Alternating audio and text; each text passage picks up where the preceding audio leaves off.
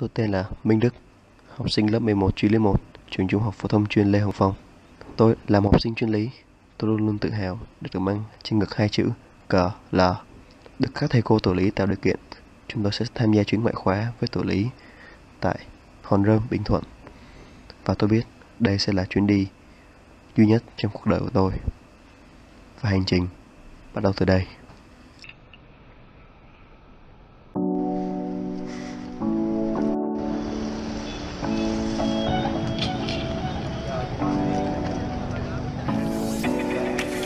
There's a part of me that's lying underneath and wants to see the darker side.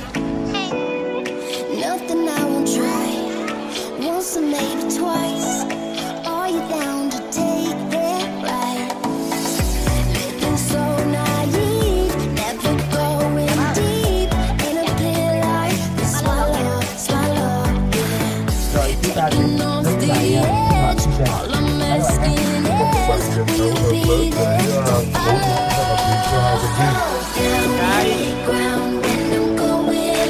Tell me anywhere I go, you will follow.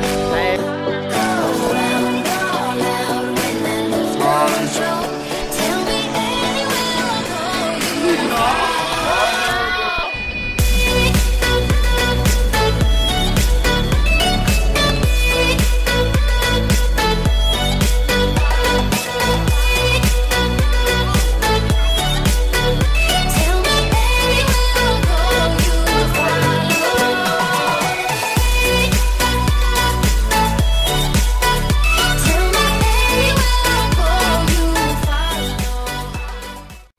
mình ha.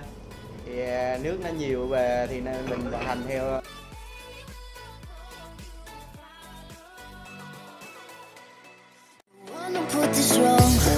I know I'm strong, but I can't get this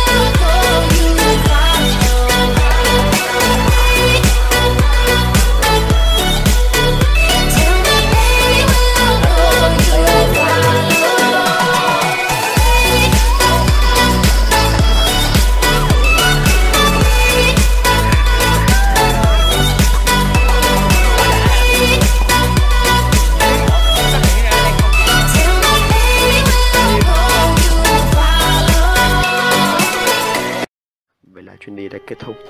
Chuyến hành trình 3 ngày 2 đêm của chúng tôi đã đến hồi kết. Những con người xa lạ